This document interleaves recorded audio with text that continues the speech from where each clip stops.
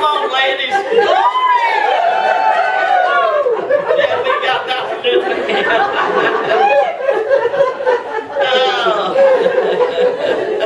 The Bible says, uh, wives submit yourself to your husband. I believe in that 100%, but I also believe that other verse that said, submit yourself one to another. Amen. So if I submit to him, he's going to have to submit to me once in a while.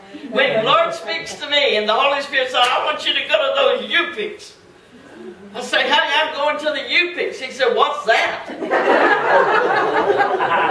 I don't know, but I'm going to go find one. And so when God opens the door, I'm going to the Yupiks. And I, I was thinking about this word Yupik. You know, that's, it's a unique word. And I was thinking of all the things I could say with you pick.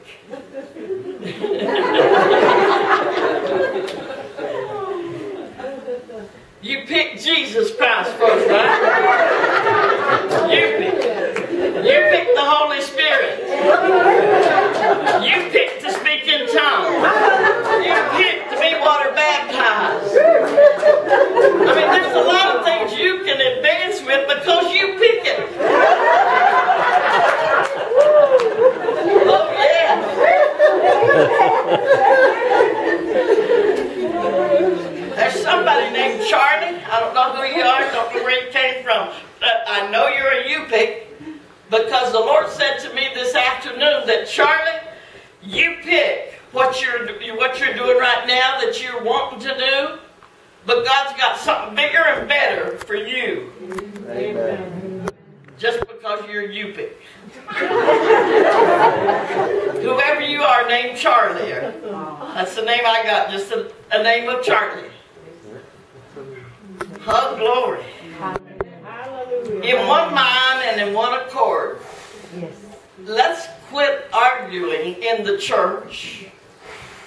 Amen. And let's let God call every one of us to be what we're supposed to be Amen. in the body of Christ. Amen. I'm an evangelist. I thank God for being an evangelist. I do the work of an apostle. If God gives me words of prophecy, I speak them. Otherwise, I try to keep my mouth shut. Amen. Amen. I'm a teacher by trade. You read in that paper. That was a nice little article, Pastor. Thank you. I, it took me 14 years to get two doctorate degrees and a lot of money. And it didn't make me any smarter than what I, what I amen. Amen. But it did give me an increase in pay, so we'll take another offering at the end of the service.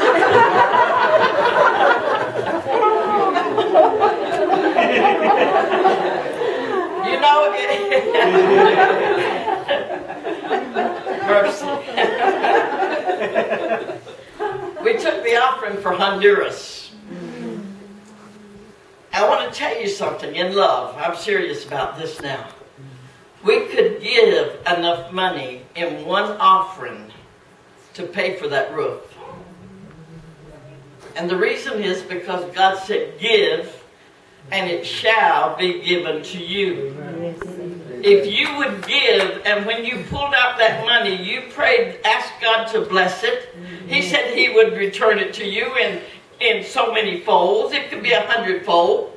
Mm-hmm. If you knew that you were going to get a hundredfold back, I guarantee you that you would be putting a hundred dollar bill in. Mm-hmm. If you knew that you were getting a hundred back, a hundred percent, hundredfold, even sixty percent. You see, we don't really understand how the Holy Spirit works. We don't have the book of Acts mentality. Hmm. We are still limited.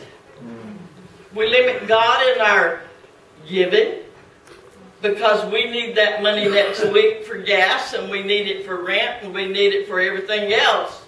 But if you really truly believed that God would give back to you, then you would be paying for things like this Yes.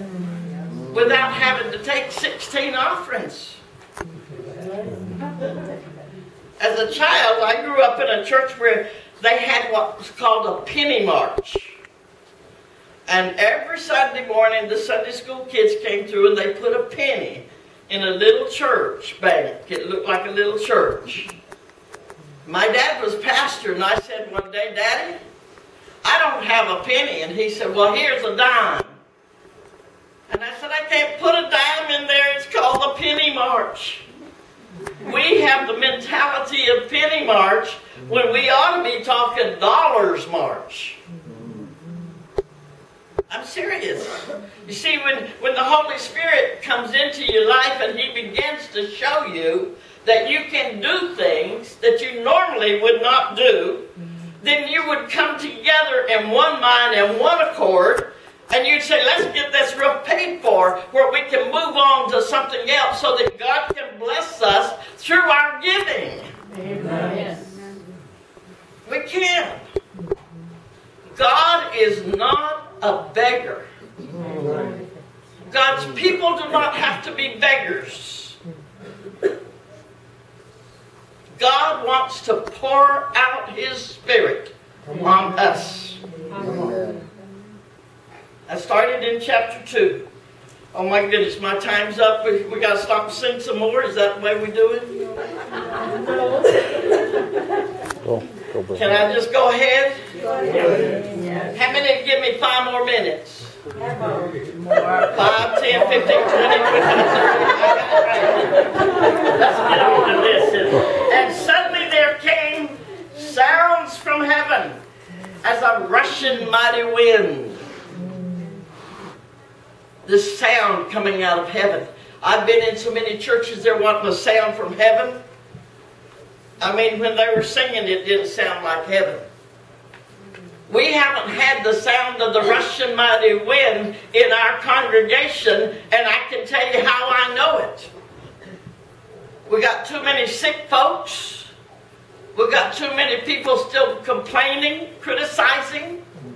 We've got too many people that are thinking of their own plans, or else they're trying to figure out how to get somebody out of the church. The sound of a rushing mighty wind and it filled all the house where they were sitting. And there appeared unto them cloven tongues like as of fire, and it sat upon each of them. And they were all filled with the Holy Ghost, and began to speak with other tongues as the Spirit gave them utterance. This is the evidence that you've been baptized, that you've been filled, that the Holy Spirit has come down on you. See, we have to have some way of knowing that something has happened. This white stuff you see outside on the roofs and on the ground, that's the evidence that it snowed. Right? And these icicles you see hanging down is the evidence that the sun was shining. So there's going to be some evidence somewhere. And so when we come together in one mind and one accord, and we begin to pray, then comes this sudden rushing wind in, into the room. And something will land on top of us. Amen.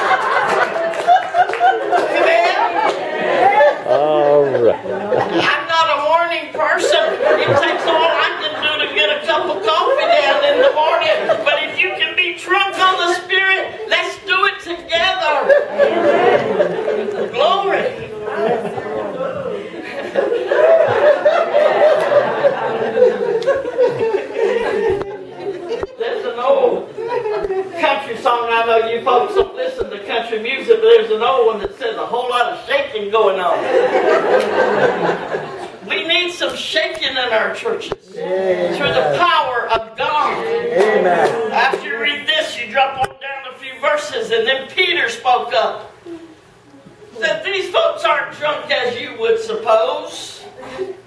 They're not drunk.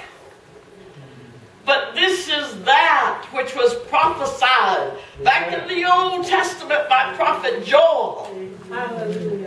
Joel prophesied. How many remember what Joel said? Joel 2.28. And in the last days, we are in the last days. We are just before the coming of the Lord. We need to get ready, get right, get, get to receiving a new mentality that we can reach to this what God has for us. Amen. This is that. Yes. Woo, glory. This is that. Yes. Yes. Yes, Father. I want to tell you something. A funeral is not that. We have funerals, and the word said, let the dead bury the dead. We live folks need to be going around to people laying our hands on them, full of the power of the Holy Ghost that comes out of our hands, the oil of the anointing to be on us, to bring healing to us, to bring deliverance to us. I enjoy casting the devil out of people. I mean it. I'm serious about it. We have so many folks that are bound by Satan, and we want to send them to a mental hospital somewhere. They need deliverance. Amen. You remember the Gadarene in the graveyard? Yeah. Yeah. Jesus didn't walk by and say, I'll call Dr. Smith for you. I, I know you've got serious problems, man. I mean, you streaking out here without a stitch of clothing on, you got problems. Jesus didn't do that. He set him free. Amen. Come out, you devils! Get out of that man! Praise Let him be free! Yeah. That comes through the power of the Holy Ghost. Amen. Amen. If you haven't caught on yet, I kind of enjoy the power of the Holy Ghost. Come on. Amen. I enjoy walking with the Holy Ghost. I enjoy praying for people. This is the, the this is the years that we're living in right now. We're in the last days. If we don't have the Holy Ghost, it's going to be awful hard for you to make it through the persecutions and the trials. Amen. It was only the Holy Ghost that kept me from being shot in, in numerous countries, stabbed in other countries. And I'm still traveling by myself. I thank God for every time the Holy Ghost came and gave me words to say. And Peter said, This is that which was prophesied by the prophet Joel. And it shall come to pass in the last days, saith God, that I will pour out my spirit. He didn't say, I will sprinkle it. He didn't say, I'll put a drop on you. He didn't say, I'll spit on you. He said, I'm going to pour it out on you. Glory! There's not a shower faucet in the world that can pour out water like God can pour out the Holy Spirit. And when it starts pouring out, you need to get under it. Quit backing away from it. Let it come down on you. Yes. I want to encourage my brother in the blue shirt. You get under that spout when it comes poured out next time. I hope he stops you on the same verse for the next 20 days. I'm expecting to see you act like you just hadn't got a care in the world. You'll fall in the floor, you'll speak in tongues, your hands will shake, you'll dance. Been there, done that. Do it again. Amen. Do it again. Keep going. My goodness. What God has for us. Verse 21, chapter 2. And it shall come to pass that whosoever shall call upon the name of the Lord shall be saved. This is the book of, of, of Acts. This is the mentality we want. Yes. We're not going to sit around and wait for people to find the church. It's too far out here. I almost didn't get here tonight myself. How in the world would a sinner find this church?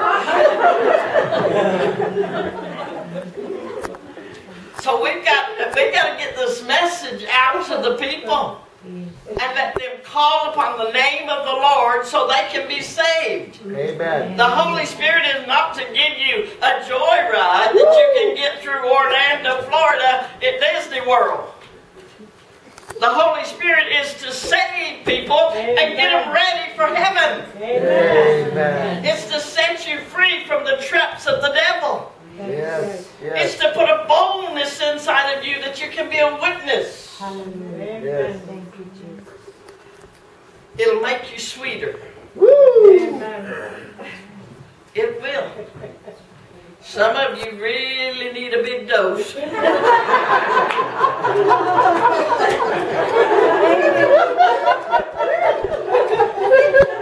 Oh my.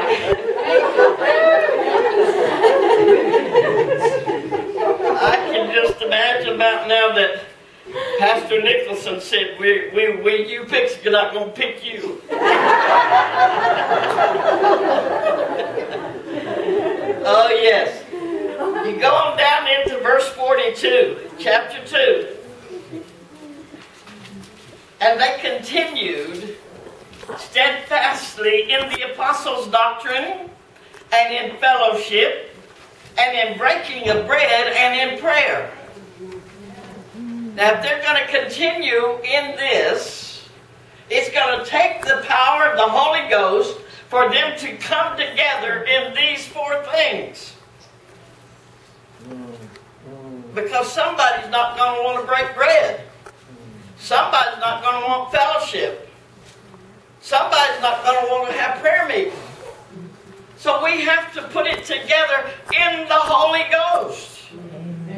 And when we begin to put it together, it says, just the next verse down, it says, and signs and wonders begin to follow them.